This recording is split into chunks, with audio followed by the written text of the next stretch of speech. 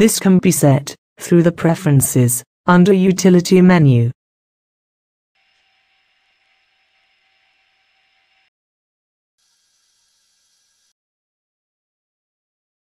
In order to print additional information on total tax deducted and shortfall or excess, one needs to check the box displaying Show last two columns in Form 16, Part B.